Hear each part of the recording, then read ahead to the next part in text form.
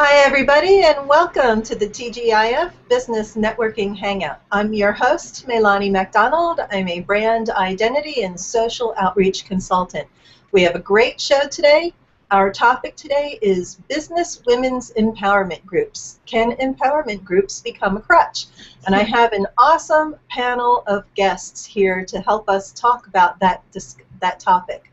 So, starting from left to right, let's get started and have the panel introduce themselves. Christine, let's start with you. Hi, everyone. Good morning, Meilani, and good morning to the panel and the audience. I'm really excited to be here today. Um, very passionate about empowering women, so I'm really looking forward to this conversation. Personally, my name is Christine L. Bowen. I'm the co creator of the Create Live Be movement. It's a mission to inspire entrepreneurs to reset their creative mindsets for success. What does that mean? Live life at its highest potential. Awesome. Thank you. Dr. Simone. Yes. Hi, my name is Dr. Simone Ravicz, and I am a certified business and life coach and a brain coach. Yes, there is such a thing. And I work with small business owners and entrepreneurs, and I use proven brain-based techniques to help them change their thinking, their beliefs, their behaviors, and their um, emotions so that they can attain business and personal success with ease. Awesome. Thank you so much, Dr. Simone. Next up, we have Kittie Walker. Hi, I'm uh, Kittie Walker. I'm based in London. I'm a digital strategist. I run a company over here with my business partner.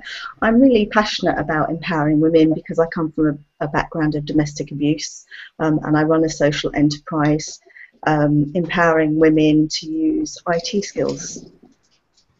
Awesome. Thank you so much for joining us. Lisa. Lisa Hello, Alani. I'm so happy to be here, and uh, it's a pleasure to meet everyone on the panel. My name is Lisa Voncino, and I am a marketing and social media strategist and consultant and manager, and my business is Sundance Social Media. And I also am on the steering committee of the Women's Collaborative for Colorado and have been involved in women's organizations for quite a long time. Awesome. Thank you so much for joining us, Lisa. Sure. Next up, we have Meloney Hall. Hi, Meilani. Thank you for inviting me, and, and hello to my fellow panelists. I am the owner and CEO of Big Uptick Social Marketing, and I consult and train personal, people and small businesses to increase their online presence with digital dignity. And we have, I am part of a uh, weekly HOA with Kittie Walker, and it's called Women in Business Today, which is, I guess, empowering. And then I also have that same night Lights Camera HOA, which is empowering people who want to get more involved with HOAs for their cause. Thank you so much, Melanie, and thank you for joining us. Next up, we have Nate Cunningham, the male voice on our panel today. hey, what's up? Yeah, you may have noticed I'm not a woman, uh, but thanks so much for inviting me here. Hopefully, I can offer some perspective and uh, my opinion to help your cause along anyway. Um, so, yeah, I'm Nate Cunningham. I'm in Colorado, and I help people on Google Plus, whether you're a novice or beginner or intermediate, whatever. Um, I want to help people in other social media integrate what they're doing there into Google Plus and become familiar with it, and just how easy it really is to instantly start a call with colleagues, friends, family from across the world. Uh, that's what I do. Thanks a lot. Awesome. Thank you so much for joining us, Nate. Next up, we have Rain Dowell. Rain, please unmute yourself and go go for your introduction. Hi, my name is Rain Dowell. I'm with Social Media Strategy now, and I'd like to help uh, small businesses, solopreneurs, entrepreneurs um, use the power of Google Plus and YouTube Hangouts to grow their online presence. Awesome. Thank you so much for joining us. And uh, once again, thanks to the whole panel for joining us. The reason I asked you all here today is because, as many of you mentioned, you're all all about empowering women in business to help them grow, to give them the tools they need. So the first question I'm going to ask is going to be sort of our introduction, and I'm going to give everybody a chance to answer it. But Meloney Hall, you kind of touched on it first because you said that you do the Lights Camera HOA, for example, which is an empowerment tool that helps people learn how to use HOAs. So my question to start with is, what is your definition of a women's empowerment group? For me, the definition of a business women's empowerment group is a group that is filled with women who have knowledge, skills, advice, and tools to offer to the other women in the group. Here, here's how you use your WordPress website. Here's how you use Google Plus. Here's a great tip for you know office organization, and that empowers women to further their business.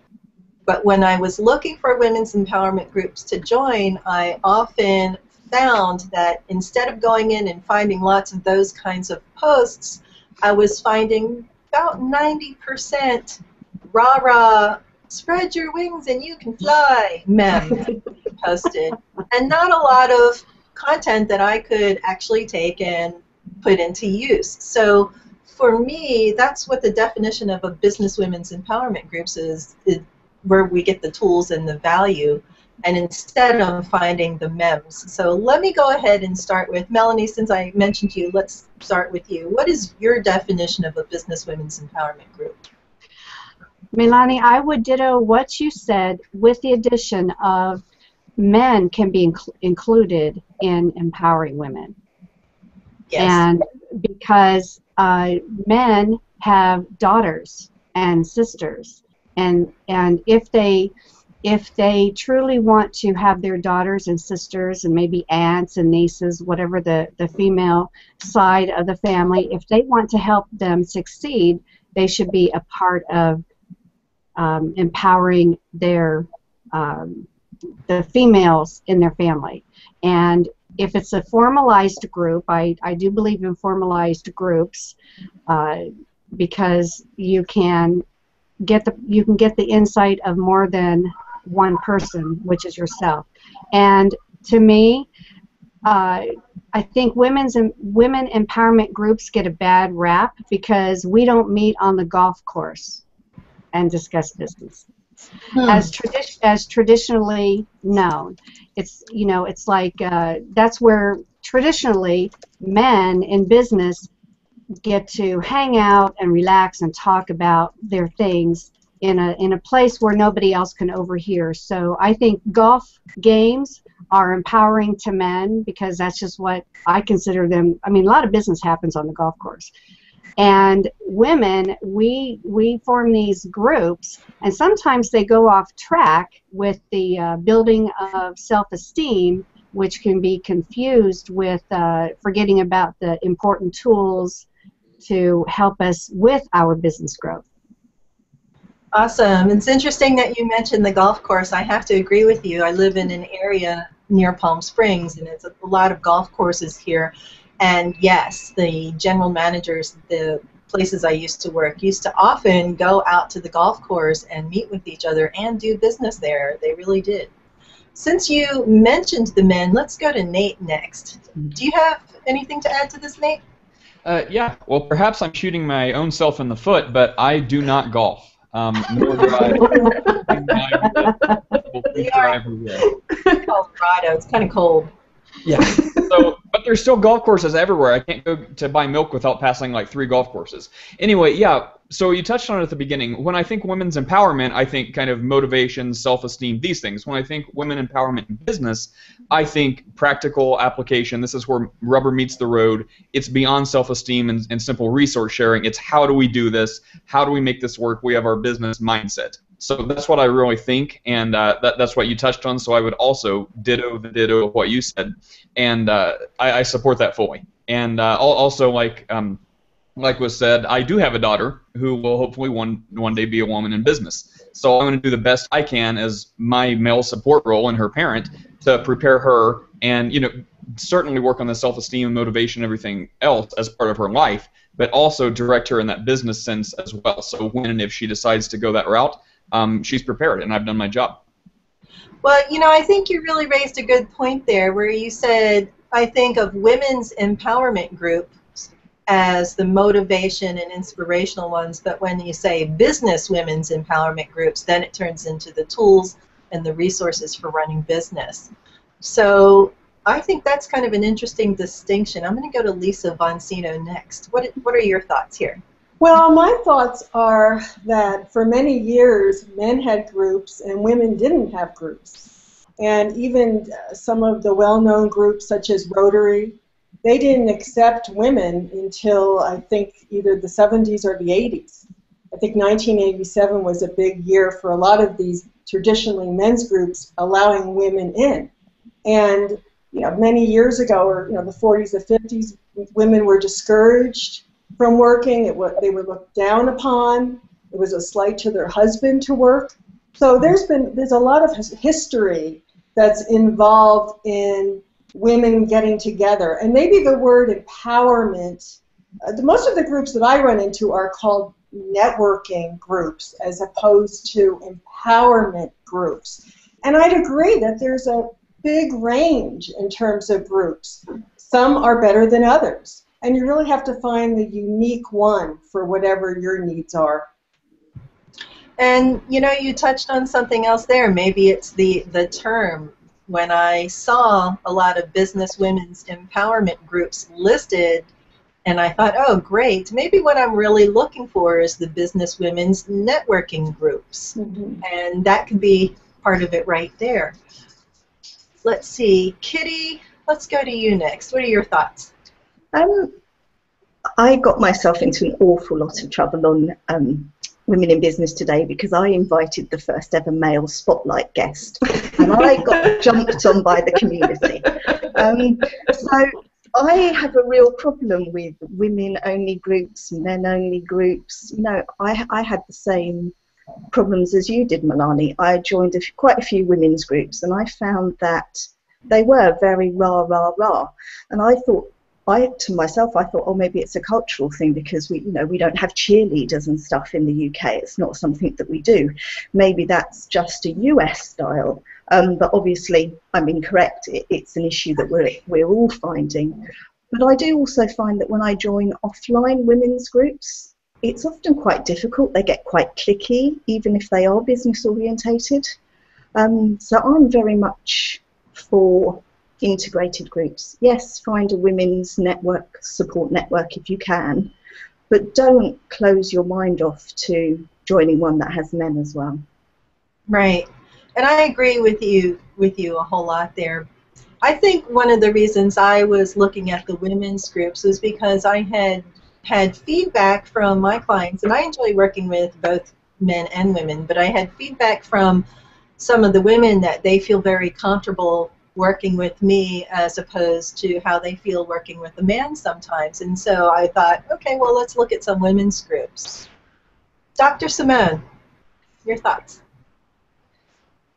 I agree with a lot of what's been said. I think you have to look at the title of the group and really differentiate the support groups, from the networking groups, from the empowering group, empowerment groups. That has a lot to do with it. You have to know what you're getting into, and you know, put your feet in, try it out. If it's not for you, go somewhere else. I've been fortunate to find some very, very good women's groups that combine the empowerment and supportive aspect with information, business information. I do not agree with what was said about just having a business mindset, and because that is impossible. Our emotional brain, the part of our brain that's in charge of our emotions, is much more powerful than that which is in charge of logic and, and rationality and things of that nature. So the emotional parts need to be taken care of. And for women, still, there is a lot of anxiety and incredible stress around working. They feel much more guilty still if they take time off from work than do men. They have still the problems about balancing family and work. They have much more stress around that than men. So I think that some of these groups are quite necessary for the women who really have issues on that end of things. You know, work on that, get that going. Then you can, then the people can focus on the business and what's at hand. But empowerment is actually giving somebody the authority or the power to do something. And it's about letting them control their own life and claiming of their own rights. So I love women's empowerment groups that focus on that issue.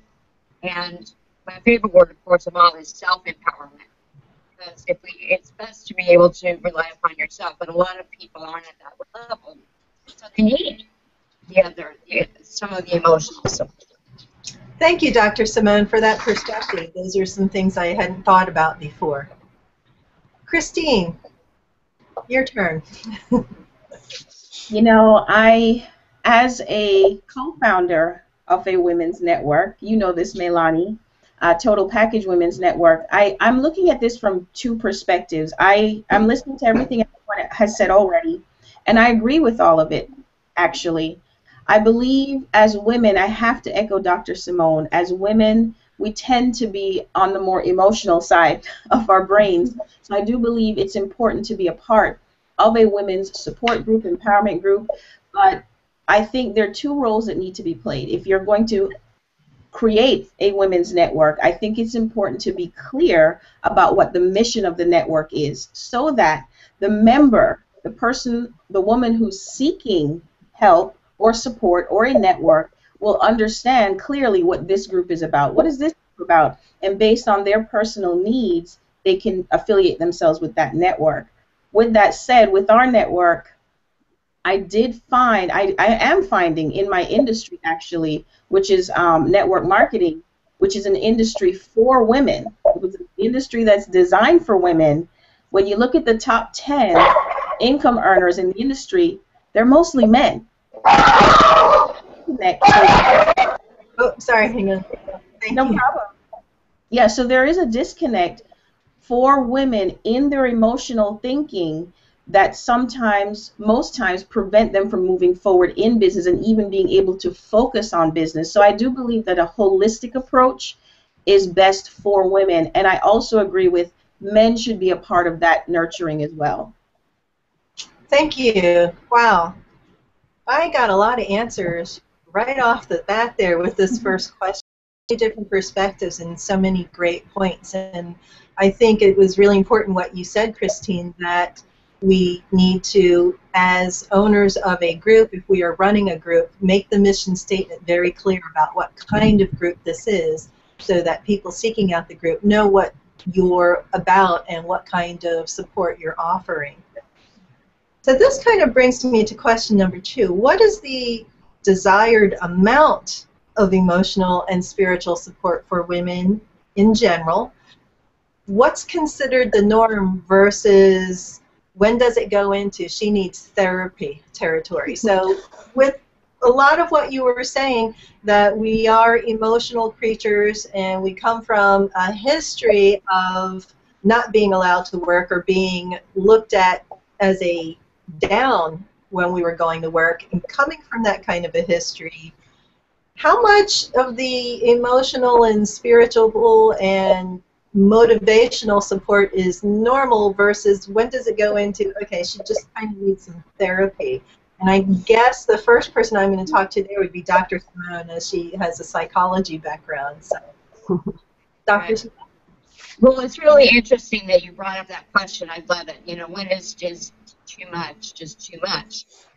I wanted to talk about the about different types of people, and this is there's actually a study that was done about two types of people: people who are called instrumental, who are very oriented to the task and want answers and are action oriented and very confident, instrumentals, and then there were expressives, um, people who focused more on, were, were more emotional and wanted more emotional support and things of that nature. What was interesting was they gave those two groups three different types of sort of interventions or uh, groups to join. And while I would consider Melanie you fairly instrumental, and for in that group there was a lot of them that preferred the middle level of emotional support and in the expressive, they prefer the highest level of emotional support. But overall, including both types of people, they all prefer the highest level of emotional support. Hmm, that's really interesting. Yeah. So there is a big desire for that out there. It's a very necessary thing. It's wired into our brains.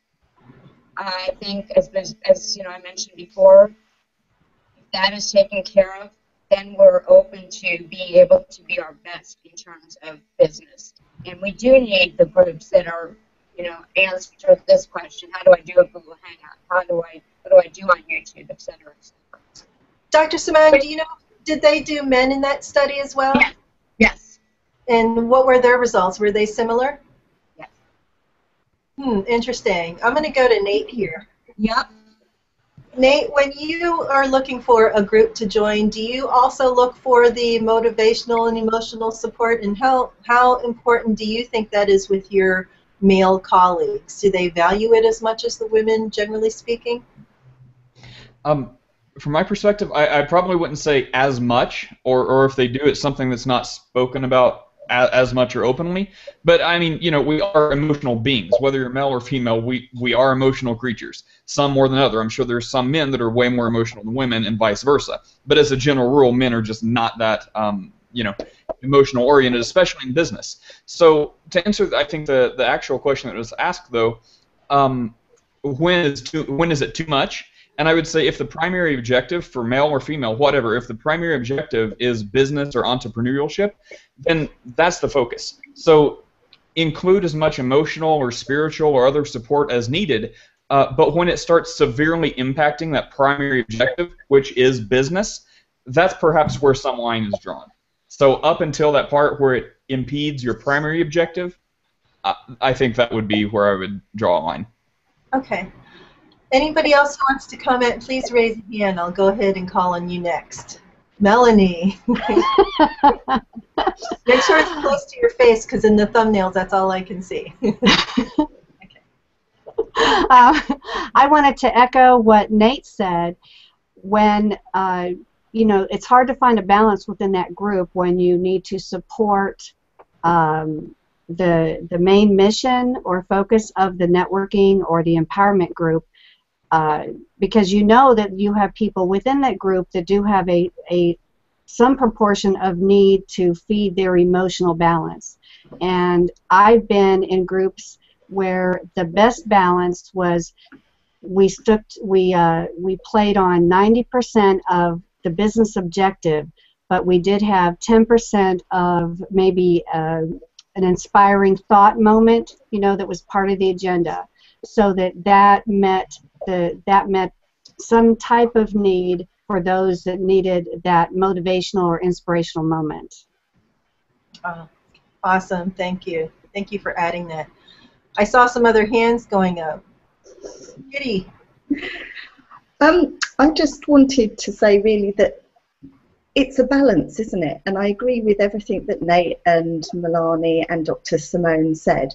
But I also think, you know, we're in a day of relationship marketing. We're not transactional marketers. You have to show your personality, you have to show who you are, but you also have to be fully aware of what is professional and what's not professional.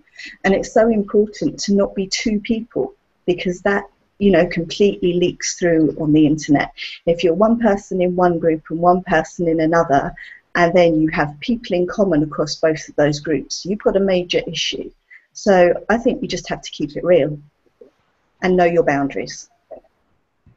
Good points, good points. Thank you. Rain, did I see a hand up or no? Um, I think these are all uh, excellent, excellent points that everybody's provided. Um, and I suppose because groups are um, an organic, growing, changing, living thing, um, being extensions of people. Um, I suppose if, if, if something just doesn't feel right or it feels like some, you know, whether you're an instrumental, uh, you know, well, if you're an instrumental and you feel an expressive seems, you feel drained, then just, I, as you said, know your boundaries and, and uh, you know, know when to say, okay, well, that's you know, that's not going to work for me. I'm focused on doing this or that. And same for the expressives. Um, to recognize that when someone is an instrumental and is um, has a goal or is is focused on something um, that you know that's their focus, that's their goal. And while it's it, there's nothing wrong with being expressive, um, there will have to be another outlet in order to get their needs met as well. So it, it's it's a just being as, as aware as you can of your your own needs as well as those uh, around you or in groups. Thank you so much, Rain. And, and actually, some of what you said kind of touches on a question that I'm going towards, which is can then these emotional supports that we so obviously need, according to all these studies and everybody in the panel, can they become a crutch to where we end up depending on it in order to get through rather than kind of taking it as motivation here and there? Is it something we end up depending on? When I go into a business group, personally, and this is just me speaking for myself, I'm cool with it being about 20, 25% of of, of the content being the motivational rah rah stuff, but really I want the how to use my WordPress site stuff. I want the tools. So before we go into that discussion, though, because that's going to, I think, bring a little bit of discussion, I'm going to go into the Q&A app and see if we have any questions out there that we can address. So what do we have here? Christopher Vogelman says, howdy.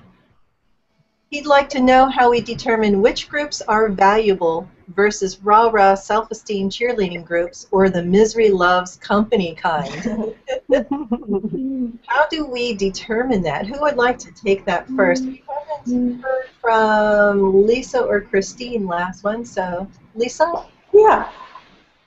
In my own personal experience, and I've visited many different groups, many of them are large and it's pretty much the same agenda every time, and you have a speaker and this sort of thing.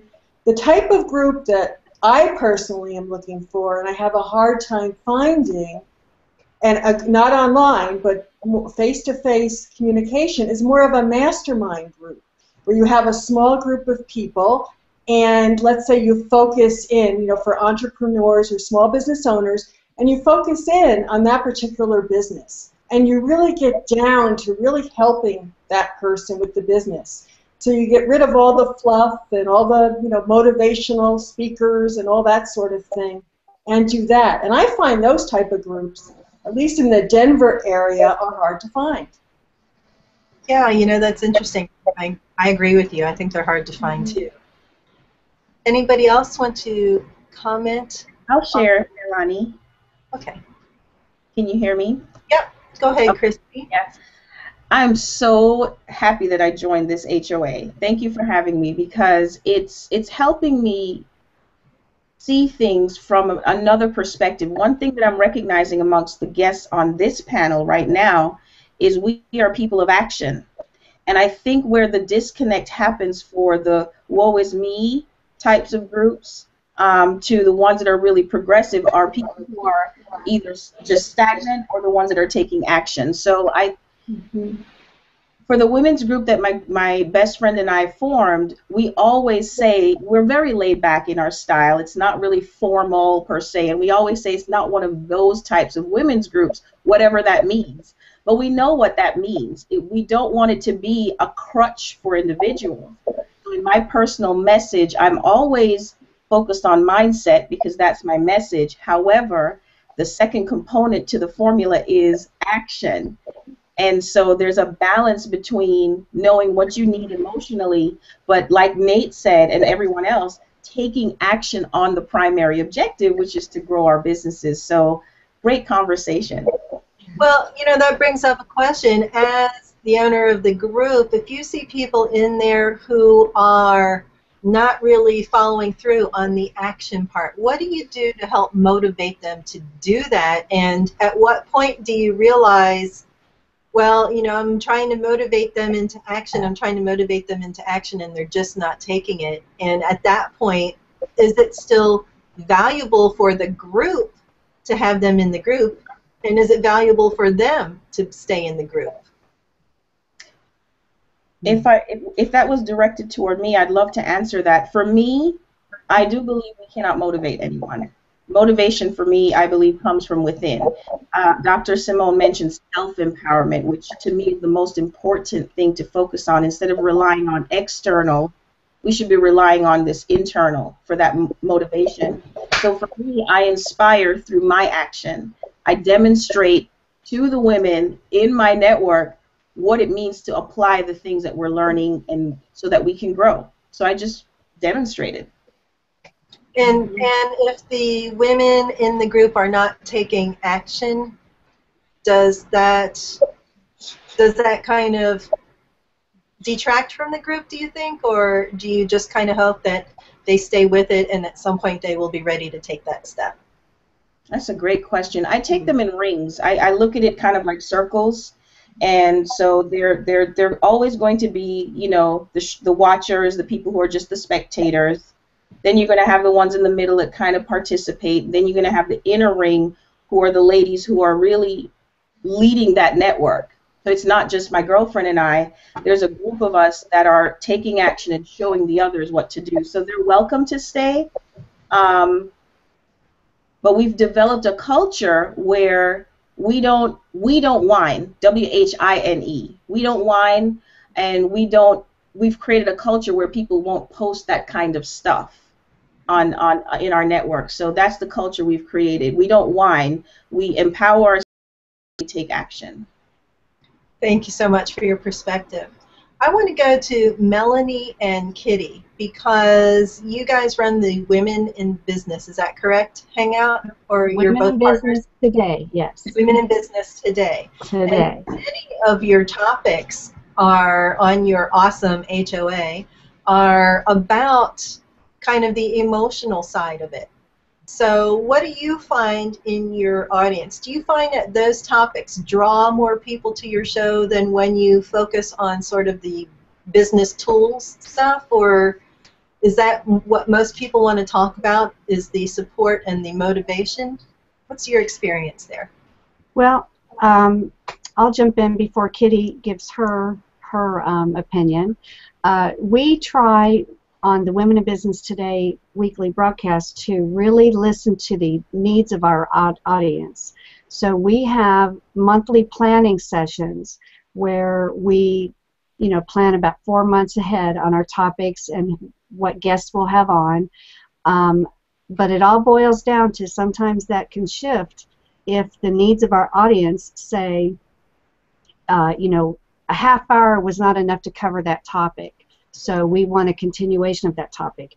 And what I'm seeing is we we are uh, we are I think we're in a, a place in time where women, whether they're becoming entrepreneurs or they're going back to school or they're finding themselves as single parents again or for the first time, uh, this gives them a, a venue to voice their concerns. And uh, we we use the comment tracker that where uh, people the viewers can uh, kind of help each other through it so that we personally don't have to address those concerns on the show.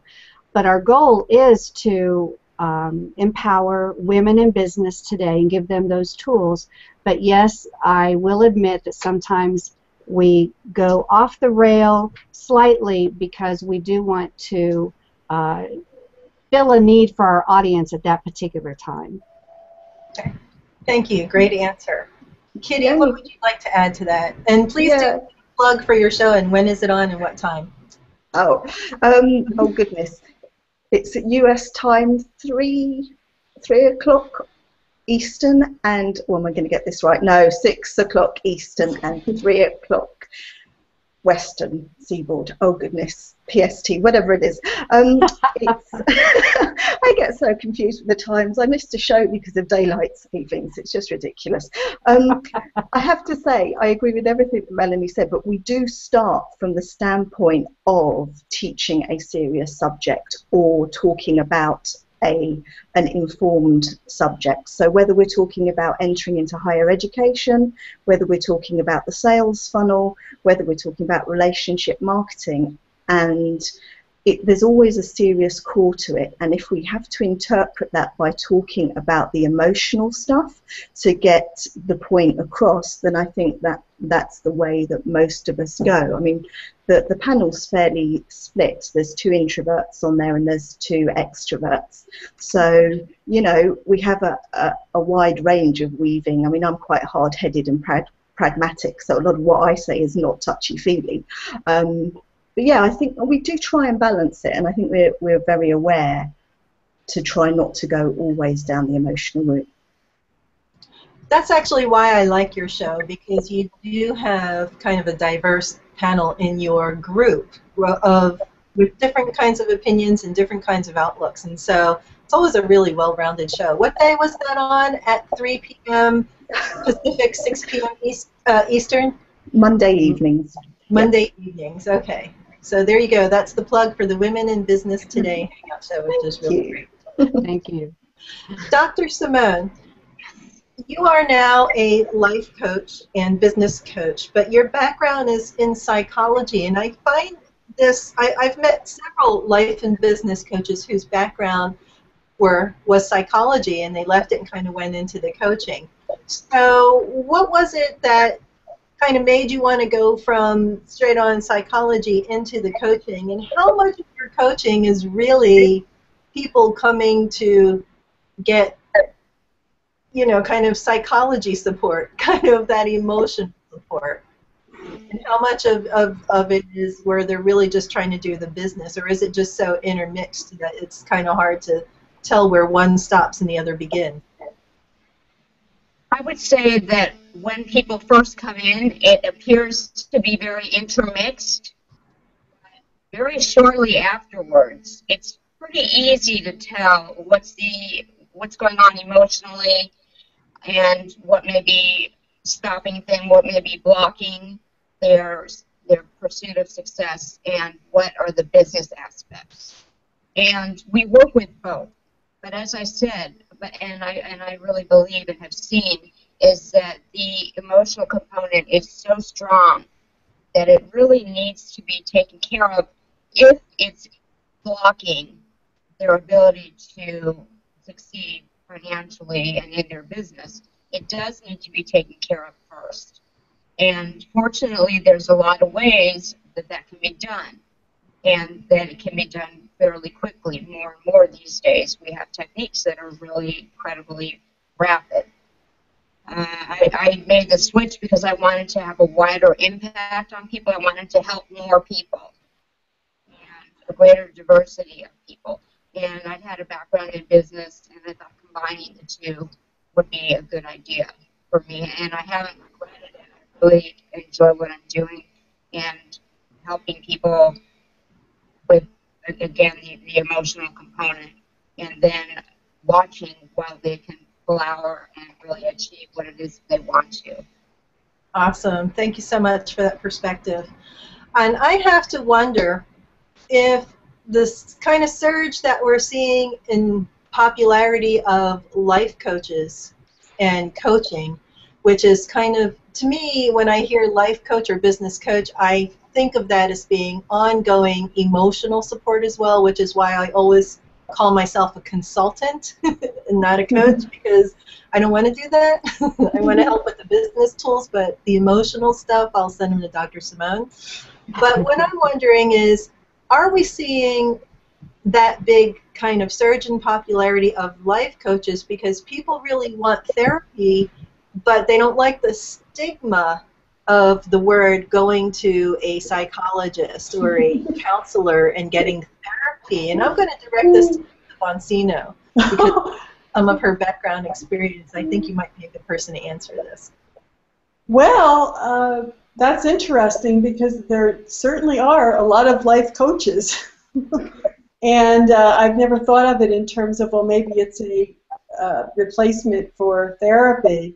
I've never used a life coach, so uh, I'm not really sure. But I would say that uh, I don't. I don't think there is, uh, in terms of qualifications, to be a life coach. I think anyone can pretty much do it if they'd like to. Correct? And if they if they feel that, and I know life coaches that don't have a degree, and so I don't know what the I may be wrong in terms of qualifications.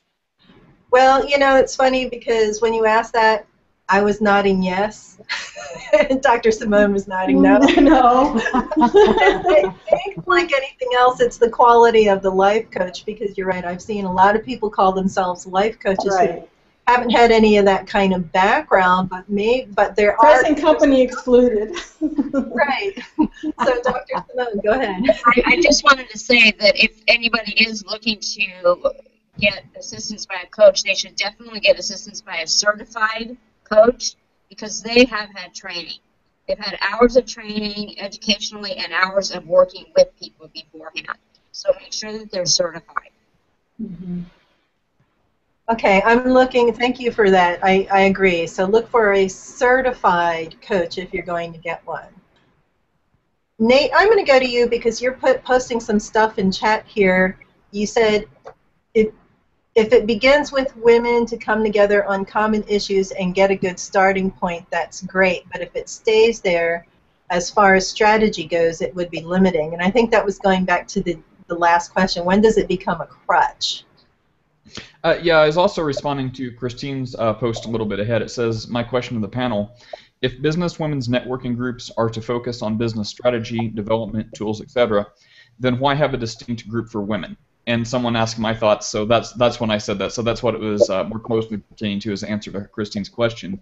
But yeah, so if it if it begins with there, because you know certainly it, from a starting point, if men have a group or women have a group, or a certain age range has a group to deal with those immediate uh, common interests, uh, like young people in business, women in business, these things, that's great. But if it stays there, then as far as strategy goes, you're shooting yourself in the foot because, great, now you can only deal and strategize for a certain age range or a certain gender, and that, that just seems really limiting. So if it starts there, uh, great.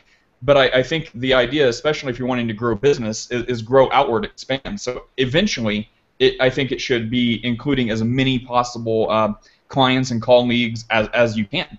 Uh, that just seems like a sound strategy. Great. Nate, that's and Nate, that's why women in business today. We did have uh, the apple cart turned over when we had a male guest on because the comment was from one of the viewers was, "Oh, so you can't find a qualified woman, huh? So why you have a group like this?" And it's like, "Oh my goodness." Uh, so, warning: we will have more men on our show because we, you know, uh, the groups for women you know they're they're originally set up because women do have a desire to express more generally and traditionally where men just you know get to the point to the agenda go uh, and I, maybe that tradition will will change uh, as more stay-at-home dads uh, develop you know their communication skills because they have to communicate with their kids like why don't you like this cereal you know but uh, yeah, we have to we have to be all inclusive. But uh, you know, we're targeting into the the needs where you know if if you if you join a group where you are you feel more comfortable to open up, then that is the group for you. And if you join a group where your need is to open up, but they don't have time to open up, then then you should you should not force yourself to stay in that group. Right. And some of the groups are social. I mean, it, it, you know, that's a big part of it.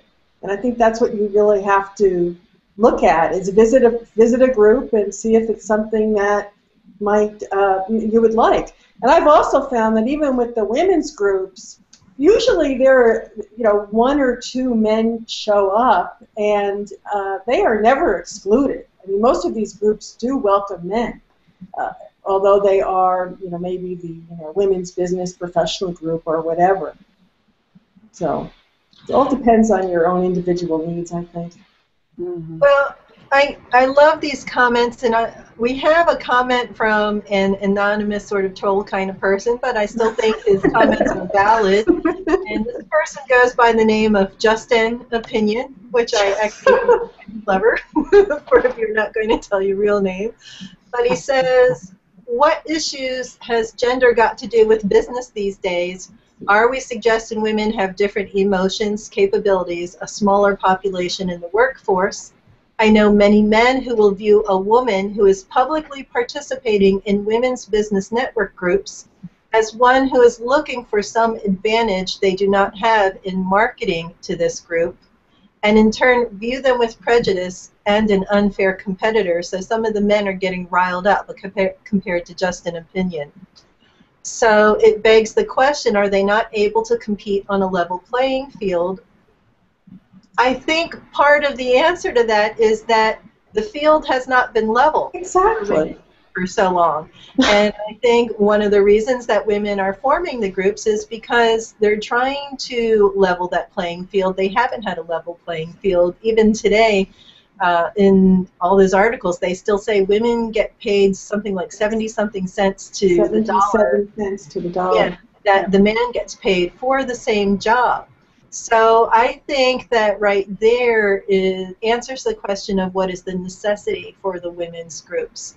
I also think that there is a difference in the way women and men operate. Now, it's been my personal experience out in the workforce when I was working in collaborative groups that when I had a group that was majority of women, we weren't really worrying about who got the credit and who got this and who got what. We were really focused on getting the task done and bringing our services to the public and getting them to, you know, benefit from them and really helping the community.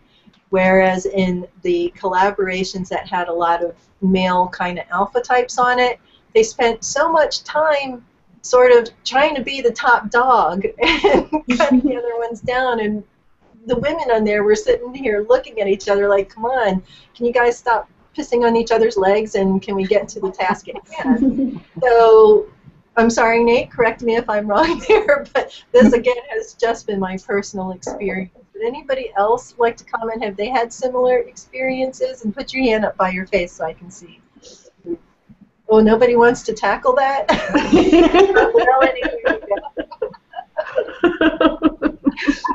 Okay, Meloney, go ahead. for a long time, for and I've lived on many a generation. For a long time, women have been running the race like a three-legged thoroughbred. A three-legged thoroughbred. Uh, men have had the four legs. Women have gotten into the race late with three legs to run. And it's only been through the passage of time, decade upon decade, and we're still going to see this as more time passes, that uh, as we are, as we now claim our place on the track, that we have four legs and we're running right with you. Move over.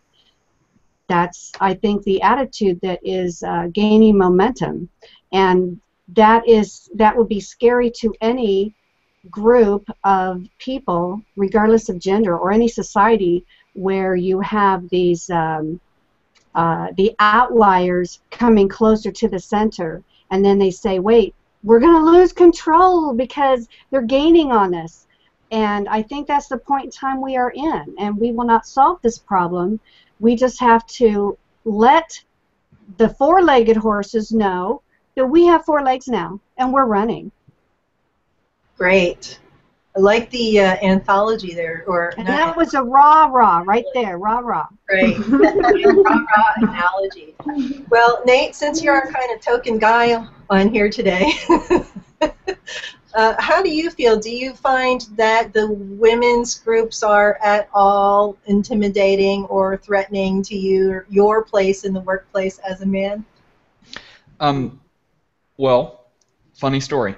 So I watched. This will make sense in a minute. I watched Hunger Games: Catching Fire, the the most recent one yesterday, And the whole premise is this governmental structure society, there it's so fragilely held together, they perceive, that if there's any threat from the outside, which is the common people, that it'll just implode. So they take extreme, over the top measures far beyond necessary to maintain their sense of structure and stability. So I think that's a very similar uh, analogy.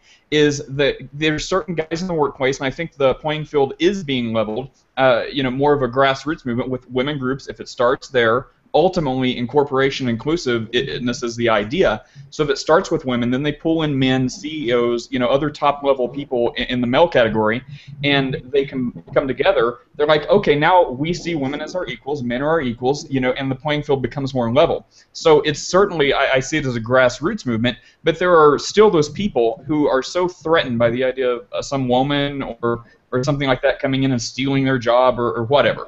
And that they are going over the top, far beyond what's reasonable and necessary, because they feel like their power structure is threatened. So I think that is an issue, but I think the solution is this grassroots movement, starting with the women's groups, and then you pull in more and more men, and you're like, okay, look, we're different, but we're the same. Business is business, and and that'll level the playing field.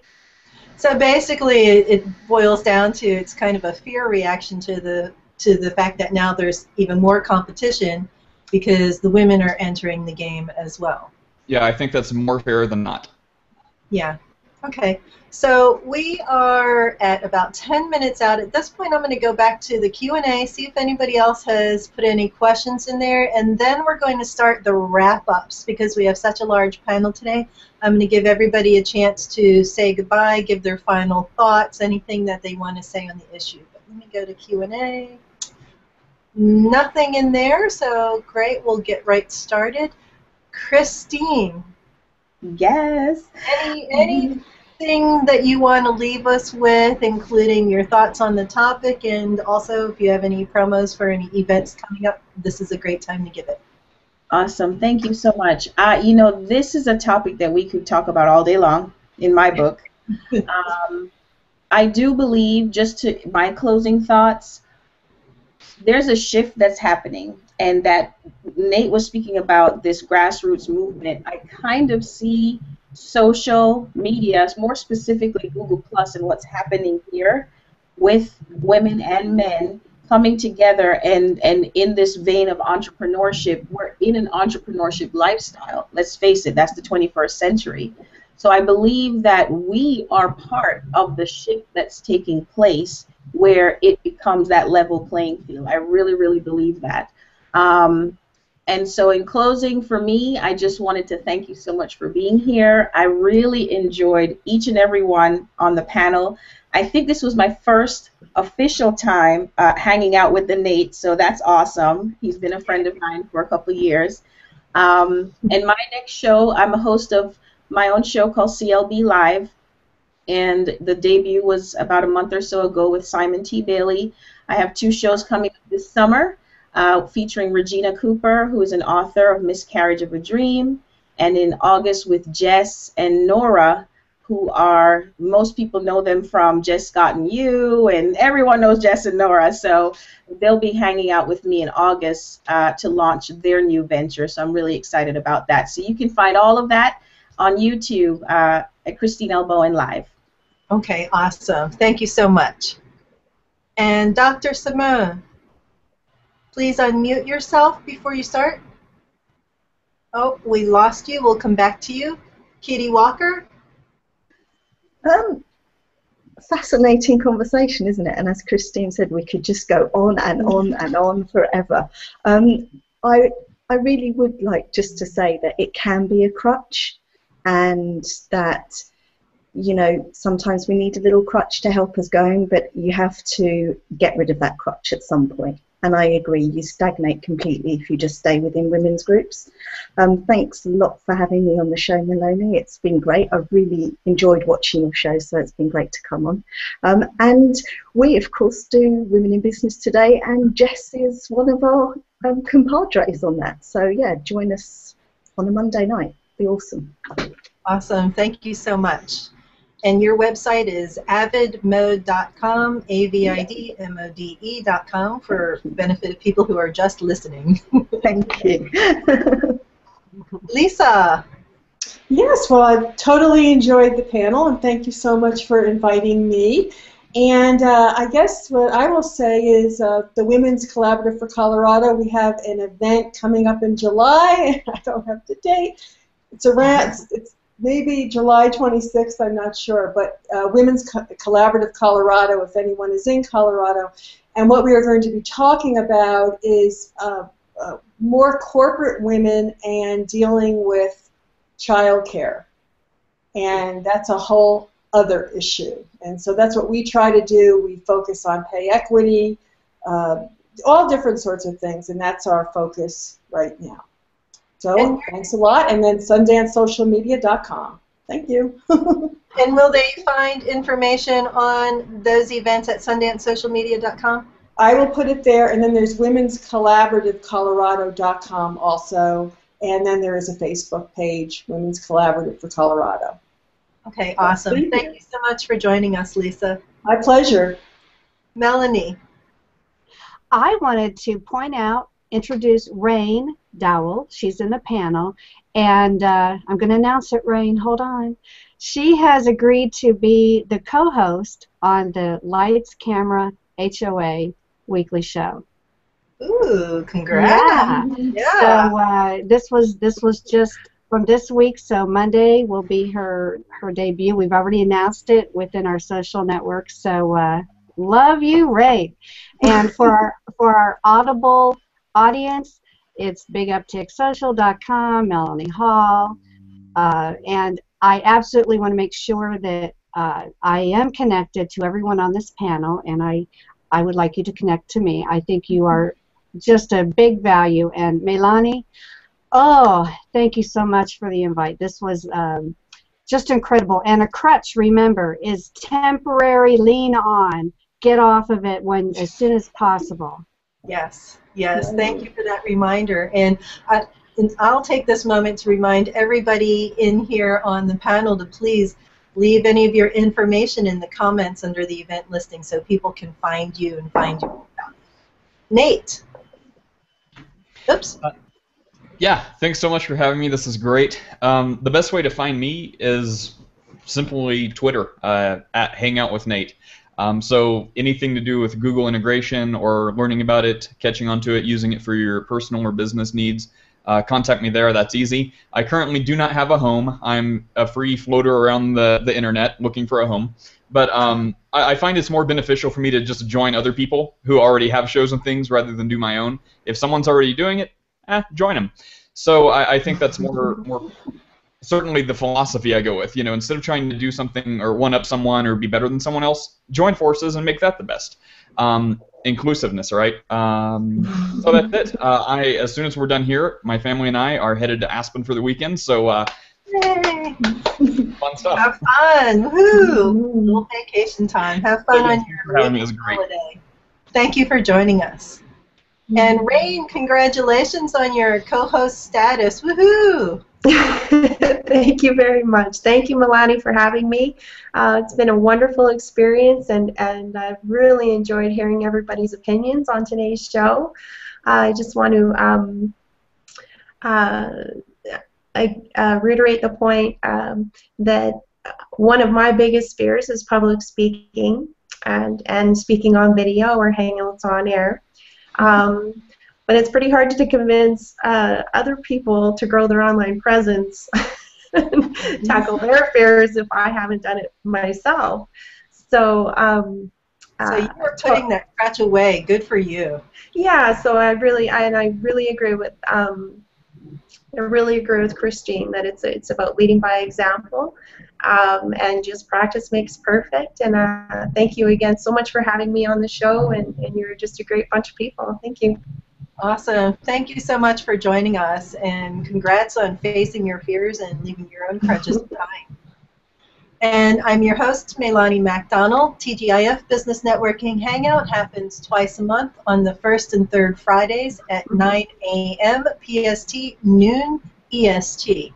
The next scheduled TGIF is actually on July 4th, so I'm not really sure yet if I'm going to find or do or have interest in doing a really heavy business episode, I may decide to take the holiday off, or I may decide to just have some fun and make it open, networking, and fun. The one after that, though, is on July 18th. And on July 18th, our topic is going to be business collaborations and team building. And my guests are going to be Jessica Duell and Jim Alt. So that's another great topic, team building and collaboration. Please join me then.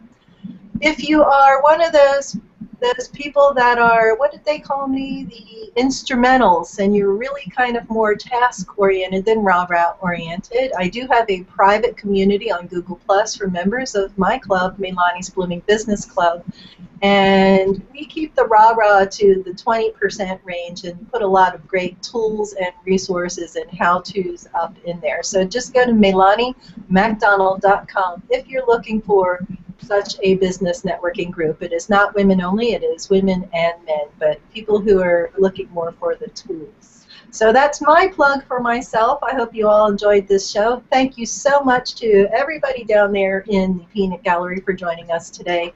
Have a great day. Bye bye.